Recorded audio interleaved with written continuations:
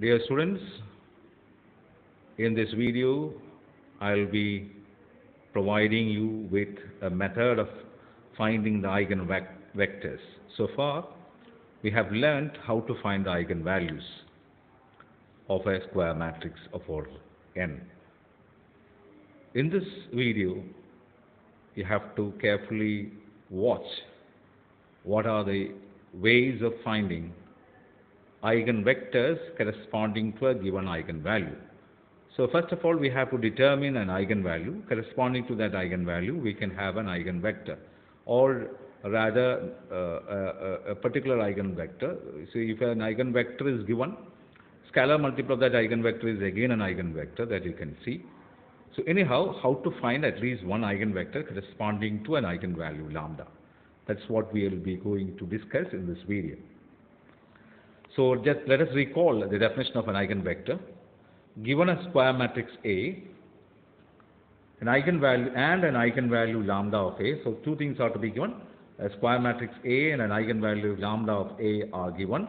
We say that a non-zero matrix X which is not equal to 0 is an eigenvector of A corresponding to this lambda if this equation is okay. That means this is what we call as eigenvalue eigenvector equation for the square matrix A, Ax equal to lambda x. If you take lambda x to the left side and uh, simplify, we'll be getting something like, like A minus lambda i into x is equal to 0. So it will be just like a system of equations. So, so Bx is equal to 0 where B is equal to A minus lambda i. So the very big question or rather a tough question is to uh, solve the capital X which is not equal to 0. How to find X is a big question. That is what we are going to see in this video. So just have a flashback. Uh, in your last semester, you have studied the method of solving a system of equations represented by something like bx equal to 0. This equation is what we call as set of non uh, the set of homogeneous equation. If this is not equal to 0, we call it a set of uh, non-homogeneous. This one is homogeneous. So if the right hand side is 0, if this is a 0 matrix, then this matrix equation represents a set of uh, uh, homogeneous system of equations.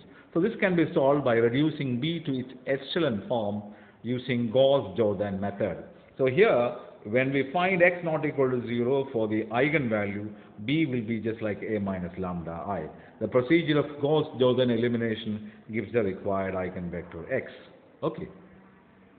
So let's have some examples for finding the eigenvectors corresponding to certain eigenvalues. So first question is about 2 by 2 matrix, a square matrix of order 2. Find the eigenvalues and the eigenvectors uh, corresponding to uh, corresponding eigenvectors for this matrix 1 minus 1 minus 1 1. So as usual, first of all, we have to find the eigenvalues.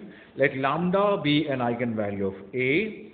Then this uh, eigenvalue equation, uh, that is characteristic equation must be there. So determinant of A minus lambda I equal to 0. As you are familiar with finding the eigenvalues, so 1 minus lambda, 1 minus lambda, only diagonals are to be changed by subtracting each from, uh, from each lambda. So it is 1 minus lambda, 1 minus lambda. The other two things will remain same. So uh, subtracting, so 1 minus lambda and 1 minus lambda is 1 minus lambda square. Minus of minus 1 into minus 1 is actually uh, minus 1. So you have to solve this one. The easiest way is you just transfer this one to the other side. So 1 minus lambda square is 1. So 1 minus lambda is plus or minus 1. So lambda will be equal to 1 plus or minus 1 which is 1 plus 1 is uh, 2 and 1 minus 1 is 0. So 0 and 2 are the eigenvalues of the given matrix. Now to each uh, lambda we have to find the eigen uh, vector. So we have the eigenvalues lambda equal to 0. So to find the eigenvector corresponding to lambda equal to 0, let x not equal to 0 be the required eigenvector. Therefore, this must be okay, ax equal to lambda x, which means a minus lambda x into equal to 0. The as equation number 1. Putting lambda equal to 0 here, you'll be getting a, this is, this has become 0, so it will be getting ax is equal to 0. That means uh, this this is a the required let the required uh, x is like this x1 x2 uh, if it is 2 by 2 we have to write as x1 x2 which is 0 0 then 1 into x1 minus 1 into x2 that is x1 minus 2 x2 equal to 0 minus 1 into x2, uh, sorry, minus 1 into x1 plus x, uh, x2 equal to 0, that means minus x1 plus x2 equal to 0. The x, the, both are same because you can see that the rank of this matrix is 1, so you will be getting x1 equal to x2. You take e, x2 as a, therefore x1 also is a, so the required eigenvector will be x is equal to matrix x1, x2, which is a, a, you can bring that a outside, you will be getting a in the 1, 1. Usually this a is arbitrary, but for writing a particular eigenvector, we'll be taking a as 1. So we choose an eigenvector corresponding to lambda equal to 0 as uh, matrix 1, 1. So uh, one of the eigenvectors is given means you can have an infinite number of uh, eigenvectors by multiplying that by a scalar. So usually we take this as 1, 1. So corresponding to lambda equal to 0, this is the required eigenvector. So uh, remaining thing is what about when the eigenvalue is lambda equal to? The same procedure we have to do. Equation 1 is a minus lambda i. In this uh, a minus lambda i, we keep it as lambda as 2. So a minus 2i in x is equal to 0. Therefore, uh, 1 minus lambda is 1 minus 2, 1 minus lambda. The other things will remain. So this into x1, x2 equal to 0, 0. So minus 1 into x1, minus 1 into x2 equal to 0. The same equation will be. So you will have only one equation, namely uh, x1 plus x2 equal to 0. x1 plus x2 equal to 0 uh, means x1 equal to minus x2. So you choose x2 as a, therefore x1 will be minus a. So you'll be having x1, x2 as x1 is minus a, x2 is a. Therefore you can bring a outside, you will be getting minus 1. 1 usually a is taken as 1. Therefore the second eigenvector can be taken as minus 1, 1. So the problem is over. So we have found out eigenvalues corresponding to lambda equal to 0 as x equal to 1, 1 and corresponding to lambda equal to 2 as the eigenvector x minus 1, 1. So this is how we have to solve the uh, uh, problem. Now uh, one more problem as an example.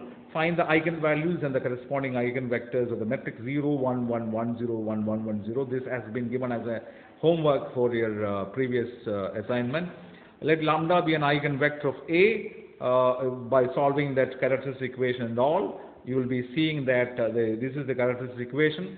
So by trial and error, we will be putting, so minus 1, you can put minus 1 whole cube is minus 1, into minus 1 is 1, uh, here is 1 plus 2 is 3, 3 into minus 1 is minus 2, so 3 minus 3 is becoming 0, therefore minus 1 is a root. To find the other roots, as I have uh, suggested, you can apply, uh, this is the characteristic equation.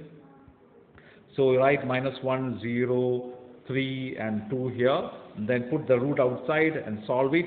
You will be getting it as the next uh, quadratic factor. That is minus lambda square plus lambda plus 2 equal to 0. You will be solving, you, you can multiply by minus and solve it. You will be getting the other two eigenvalues as 2 and minus 1. So the uh, eigenvalues are minus 1 already obtained. Now again minus 1 is repeating. So we have 2 minus 1 and minus 1 as eigenvalues. Corresponding with uh, these three eigenvalues means we have to find eigenvalues corresponding to 2 and minus 1 because the third one is repeating. So to find the eigenvector corresponding to lambda 2, uh, this is the uh, equation a minus lambda i means a minus 2i into x is equal to 0. This is a minus 2i when you put uh, lambda equal to 2 a, a, from a you have to subtract 2 diagonal wise so you'll be getting it as 0 minus 2 0 minus 2 0 minus 2 because in the given a you have 0 here so the other things will remain same so this is the matrix that into the so first of all you know before finding the x you have to reduce it into its echelon form. So for that, row transformations are to be applied. Anyhow, you know that method. First of all, we take this, these two. As, so first we interchange this one. This row is interchanged so that this will become 1. So the first leading thing is 1. This has to be made 0. For that, we have to apply row operations. This you might have learned. Uh, then finally it will be ending up with this one. That means 1 has the column containing all 0. 0 second element is 1 0 then the third row it is uh, there is no 1 so that means you can see that this is the redundant row redundant row 0 0 0 so 1 into uh, so the corresponding so you can again reduce this can be made into 0 by applying this uh, row transformation this row transformation R1 changes, R1 is changed to R1 plus 2 R2, then this will become 0. So the uh, latest form is 1, 0, minus 1, 0, 1, minus 1, 0. So A has become equivalent to this matrix, so uh, this can be replaced. So this is uh, uh now the new A minus, not A, it is A minus 2i. A minus 2i into required x is x1, x2, x3. So 1 into x1 minus x3 equal to 0. So you'll be getting two equations, x1 minus x3 equal to 0, again x1 minus x3 equal to 0. That means you have x1, sorry, x1 minus x equal to 0 and x2 minus x equal to 0. If x1 equal to x3 and x2 equal to x3, therefore you will be getting x1 equal to x2 equal to x3 equal to a. So everything is a, that means a can be brought out. So this can be taken as the eigenvector corresponding to lambda equal to 2. Similarly, uh, you can find eigenvector corresponding lambda equal to minus 1. For that you have to take a minus lambda again. Lambda is minus 1 so it will become a plus i. a plus i is like this. You have to simplify it. Uh, you can see that here there are two rows uh, becoming 0 after converting it into its or reducing it into its echelon form. Therefore, this in x1, x2, x3 is equal to 0 means x1 plus x2 plus x3 equal to 0. You have only one equation containing three variables means two things are to be chosen arbitrarily. So let us take this as A and this as B. Uh, so it is uh, x1 is equal to minus x2 minus x3 that is minus A minus B that is minus of A plus B. So x1 is obtained in terms of A and B as minus. So x1 is replaced by minus A plus B. We have chosen x2 as A and x3 as B. So uh, what are the things going on with A? A here, A here, there is no A here. So it is minus 1, 1, 0. A into that. B coming up here and here only. The here is missing. So 0, minus 1, uh, so, so that, that means this is one of the eigenvector and this is the second eigenvector. So uh, you might have seen lambda equal to minus 1 repeats twice.